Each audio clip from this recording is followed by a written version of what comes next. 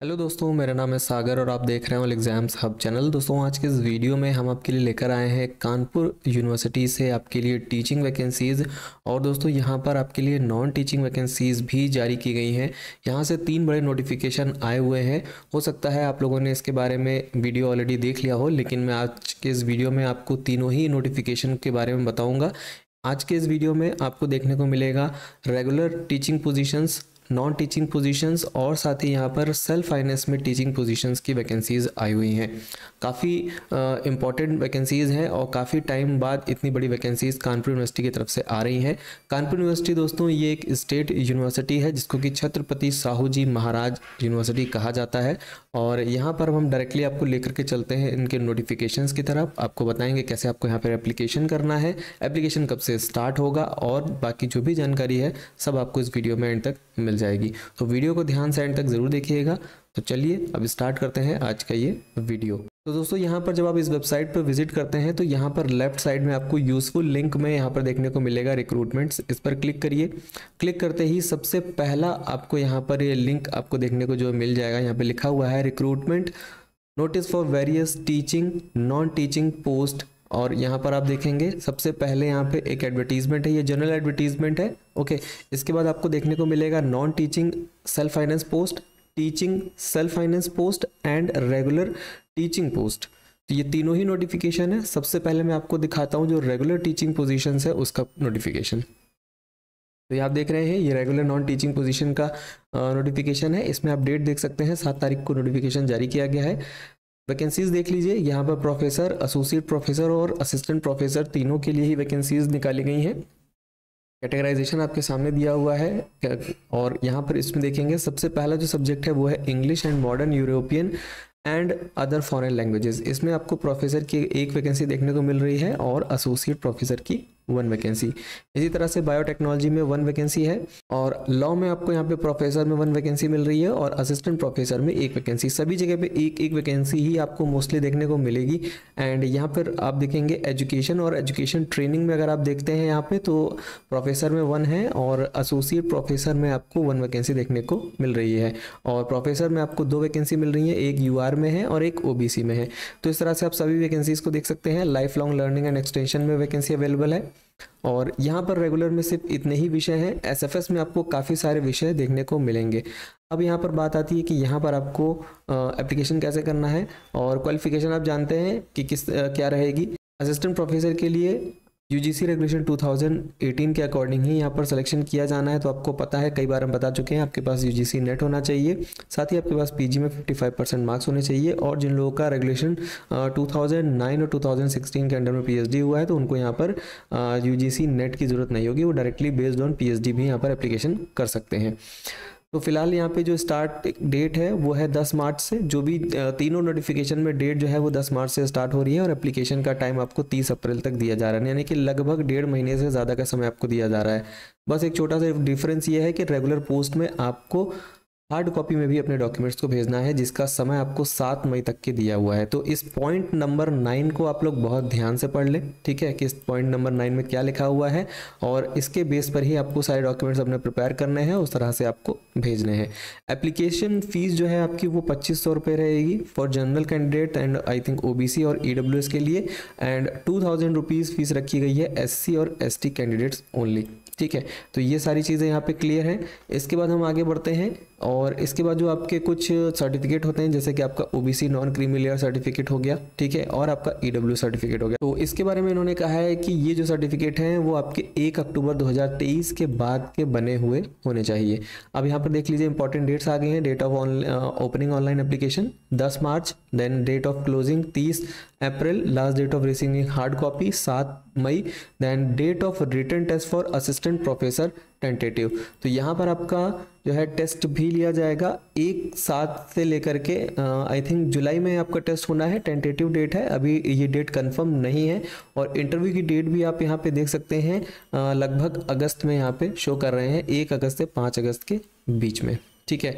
अब यहाँ पर आपका सिलेबस क्या रहेगा? सबसे इंपॉर्टेंट बात आती है कि आपके एग्ज़ाम का सिलेबस क्या होगा? तो एग्ज़ाम का सिलेबस आपका जो नेट और गेट का जो आपका सिलेबस होता है, वही आपका सिलेबस रखा गया है। ठीक है? तो ये आप देख सकते हैं, कुछ इस तरह का आपका बनेगा। ये आप देखेंगे असिस्टेंट प्रोफेसर के लिए। सिर्फ़ और सिर्फ़ असिस्टेंट प्रोफेसर पोस्ट के लिए ही यहाँ पर टेस्ट होगा। और basic academic score and API score आपका थर्टी रहेगा minimum for teaching assistant professor के लिए। रिटर्न टेस्ट में आपका जो है फोर्टी मार्क्स का पेपर आपका रखा जाएगा। और इंटरव्यू जो आपका होगा, वो टोटल यहाँ पर आप देख सकते हैं कितना है? इसमें दो तरह से इसको डिवाइड किया गया है, जिसमें कि आपका इंटरव्यू का टेन मार्क्स है और assessment of teaching skill presentation to assess teaching skills in class and ability to take online class on computer इसको भी चेक किया जाएगा, इसके लिए आपको ट्वेंटी मार्क्स दिए जाएँगे। और ये देखिए, यहाँ पर आप देख सकते हैं सिलेबस के बारे में उन्होंने कहा है कि for the post of assistant professor syllabi of written examination in sciences humanities and social sciences will be the syllabi of NET and in engineering और टेक्नोलॉजी से रिलेटेड अगर आपका सब्जेक्ट है तो सिलेबाई जो आपका रहेगा, वो गेट का रहेगा। तो इसके अलावा आपको कोई भी चीज़ एक्स्ट्रा नहीं पढ़नी है। नेट का जो आपका सिलेबस है, वो गेट का सिलेबस है। बस वही आपको पढ़ना है, उसी के बेस पर आपके क्वेश्चन आएँगे। तो ये हो गया आपका फ़र्स्ट नोटिफिकेशन सेकेंड नोटिफिकेशन पर चलते हैं। सेकेंड नोटिफिकेशन है दोस्तों आपका ये है for non teaching positions okay non teaching position में भी काफ़ी सारी वैकेंसीज हैं और यहाँ पर आप देखेंगे, सबसे पहले आपको जूनियर नेटवर्क एडमिनिस्ट्रेटर की वैकेंसी देखने को मिल रही है और यहाँ पर पे पे आउट भी इन्होंने बताया हुआ है कि आपका रेम्यूनरेशन रेंज जो रहेगी वो पच्चीस हज़ार से पैंतीस हज़ार के बीच में रहेगी। इसेंशियल क्वालिफिकेशन आपके सामने है तो मैं यहाँ पर एक एक क्वालिफिकेशन आपको पढ़ के नहीं बता रहा हूँ क्योंकि वीडियो ऑलरेडी लंबा हो चुका है और वीडियो और लंबा होने वाला है क्योंकि अभी एक नोटिफिकेशन बाकी है तो इसको आपको खुद से देखना होगा। मैं आपको पोस्ट बता दे रहा हूँ कौन कौन सी है? हार्डवेयर सपोर्ट टेक्नीशियन और इसके बाद है technical assistant school of engineering and technology इसके बाद है आप स्कूल ऑफ़ बेसिक साइंसेज इसमें वन पोस्ट है। इसके बाद आप देखेंगे डेटा एंट्री ऑपरेटर इसमें भी आपके लिए वन पोस्ट अवेलेबल है। ट्रेनिंग एंड प्लेसमेंट ऑफिसर इसमें भी वन पोस्ट अवेलेबल है। इसके बाद आप देखेंगे इंस्ट्रक्टर की वैकेंसी है। Laboratory technician X-ray technician junior establishment officer इसके बाद आप देखेंगे जो यूनिवर्सिटी के कॉन्स्टिट्यूएंट कॉलेजेस हैं, उनमें भी वैकेंसीज रखी गई हैं और काफ़ी सारी वैकेंसीज इसमें भी हैं, जिसमें कि आप देखेंगे लैब असिस्टेंट की फोर पोस्ट हैं, ठीक है? और कॉलेज का नाम भी यहाँ पे मेंशन किया गया है कि कहाँ पर यह कॉलेज है। और यहाँ पर आप देखेंगे फिजिक्स में वन पोस्ट है केमिस्ट्री में वन है जूलॉजी बॉटनी रेम्यूनरेशन रेंजेस जो रहेंगी वो यहाँ पे पंद्रह हज़ार से बीस हज़ार रुपये रखी गई है। इसी तरह से यहाँ पर भी सेम पोस्ट है और इस कॉलेज में भी सेम पोस्ट बताई गई हैं। बस तीनों कॉलेजेस अलग अलग हैं और यहाँ पर भी जो एप्लीकेशन है वो दस मार्च से स्टार्ट हो रहा है। तीस अप्रैल तक एप्लीकेशन करना है। ऑफलाइन आपको यहाँ पर कुछ नहीं करना है क्योंकि ऑफलाइन के बारे में उन्होंने यहाँ पे कोई जानकारी नहीं दी है। एक हज़ार रुपये फ़ीस है और साढ़े सात सौ रुपये एस सी एस टी के लिए फ़ीस रखी गई है। ठीक है? बाकी यहाँ पर कोई भी इन्फॉर्मेशन इसके अलावा नहीं है। और यहाँ पर आप देखेंगे डेट ऑफ़ रिटर्न टेस्ट और स्किल टेस्ट या फिर इंटरव्यू जो भी होगा वो सात से दस जून के बीच में होगा। ठीक है, और उसकी जानकारी आपको दे दी जाएगी। बाकी यहाँ पर इसमें कुछ भी अभी नहीं बताया गया है। इसके लिए आपको साइट पर रेगुलरली अपडेट रहना पड़ेगा, तभी आपको पता चल पाएगा। अब आ जाते हैं यहाँ पर सेल्फ फाइनेंस स्कीम के अंडर में जो आपकी पोस्ट हैं। सबसे ज़्यादा वैकेंसीज आपको यहीं पर देखने को मिलेंगी, जिसमें आप देखेंगे vacancy for the post of assistant professor and guest faculty दो तरह की यहाँ पे पोस्ट है। सबसे पहले आप देखेंगे फ़िज़िकल एजुकेशन में यहाँ पर गेस्ट फैकल्टी में तीन पोजीशंस है। मैथमेटिक्स में आप देखेंगे तीन वैकेंसी है। असिस्टेंट प्रोफेसर ज्योग्राफी में वन है केमिस्ट्री में वन है।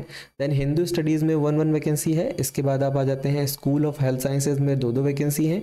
फिर है कंप्यूटर साइंस एंड इंजीनियरिंग इसमें eight and two vacancies computer application में वन वैकेंसी इंटीरियर डिज़ाइन में one and one vacancy law में आपको four and two vacancies then इसके बाद आपका जाता है हिंदी हिंदी में वन वैकेंसी है गेस्ट फैकल्टी की, संस्कृत की वन वैकेंसी जनरल जर्मन की वन वैकेंसी है एग्रीकल्चर, हॉर्टिकल्चर में तीन वैकेंसीज हैं। इसके बाद आप देखेंगे कर्म कार्ड में वन एस्ट्रोलॉजी में वन और इसके बाद आप देखेंगे ये सभी सब्जेक्ट में आपको एक एक वैकेंसी देखने को मिल रही है। Geography English maths commerce computer application Hindi military studies political science social science zoology management commerce mathematics zoology chemistry ये सभी असिस्टेंट प्रोफेसर की वैकेंसी हैं। एग्रीकल्चर साइंस में one vacancy economics Hindi English education history and इसके बाद आप देखेंगे, और इस साइड में आप देखते चलिए कि किन कॉलेजेस के लिए वैकेंसी है। ये भी इन्होंने लेफ़्ट साइड में कैटेगराइज किया हुआ है। इसके बाद आप देखेंगे गवर्नमेंट डिग्री कॉलेज जो घाटमपुर है, यहाँ पे प्रिंसिपल की भी वैकेंसी अवेलेबल है। इसके बाद हिंदी की है, हिस्ट्री की है और बाकी फिर आप देखेंगे लाइन से फिर से यहाँ पर एक एक वैकेंसी इन सभी सब्जेक्ट्स में अवेलेबल है। यानी कि इस कॉलेज में गवर्नमेंट डिग्री कॉलेज घाटमपुर जो कि कानपुर में है। तो काफ़ी सारी वैकेंसीज यहाँ से आई हुई हैं। देन यहाँ पर आपको पे आउट के बारे में भी नीचे बताया गया कि principal for constituent degree college के लिए चालीस से साठ हज़ार रुपये पेमेंट आपको मिलेगा और असिस्टेंट प्रोफेसर के लिए तीस हज़ार से पचास हज़ार रुपये के बीच में आपकी पेमेंट रहेगी। ठीक, बाकी जानकारी के लिए आप इन जो पॉइंट्स हैं, यहाँ पे पॉइंट नंबर थ्री फोर इनको आप थोड़ा ध्यान से पढ़ लीजिए। डेट आप देख सकते हैं, दस मार्च से तीस अप्रैल है और फ़ीस यहाँ पर पच्चीस सौ रुपये for general and OBC and EWS के लिए और दो हज़ार रुपये S C S T candidates के लिए। और यहाँ पर आपको कोई भी हार्ड कॉपी नहीं भेजनी है। हार्ड कॉपी के बारे में यहाँ पे कोई भी जानकारी नहीं लिखी हुई है। सिर्फ़ और सिर्फ़ आई थिंक यहाँ पर ऑनलाइन एप्लीकेशन है। बाकी डिटेल हम आपको आगे बता देंगे। ये देखिए यहाँ पर date of written test for assistant professor इसमें भी टेस्ट होगा आपका, ठीक है? यहाँ पर जो डेट रखी गई है, वो है एक तारीख से लेकर के सात तारीख जून में और इंटरव्यू शेड्यूल आपका होगा पंद्रह से बीस जून के बीच में, ओके? और यहाँ पर आपको लिखा है कि documents required to be submitted online with online application तो यहाँ पर आप देख सकते हैं कि ऑनलाइन आपको कौन कौन से डॉक्यूमेंट लगाने हैं, इनकी जानकारी पॉइंट्स में दी गई है। इसी तरह से पिछले वाले नोटिफिकेशन में भी दी हुई है। तो ये तीनों नोटिफिकेशन आपको बहुत ध्यान से पढ़ने हैं एप्लीकेशन करने से पहले, जिससे कि किसी भी तरह की कोई गलती ना होने पाए। और आपके सामने फिर से एक चार्ट है, जिस तरह से मैंने आपको पहले नोटिफिकेशन में दिखाया था कि यहाँ पे बेसिक एपीआई स्कोर थर्टी रहेगा रिटर्न टेस्ट आपका फोर्टी मार्क्स का होगा देन इंटरव्यू दो पार्ट में, जिसमें ट्वेंटी और टेन टोटल आपका हंड्रेड होगा असिस्टेंट प्रोफेसर के लिए। एसोसिएट और प्रोफेसर के लिए यहाँ पर सिर्फ़ और सिर्फ़ जो है आपका एपीआई एंड इंटरव्यू बेस पर ही सिलेक्शन किया जाएगा। ओके और यहाँ पर आप देख सकते हैं, यहाँ पे फिर से इन्होंने सिलेबस की बात की है तो यहाँ पर नेट और गेट का जो आपका सिलेबस होगा, उसी बेस पर आपका पेपर बनाया जाएगा। और बाकी तो ये नीचे आप देख सकते हैं कि आपका ये जो एपीआई के लिए जो टेबल होती है वो आपके सामने यहाँ पे दी गई है। अब बात आती है एप्लीकेशन कैसे करना है?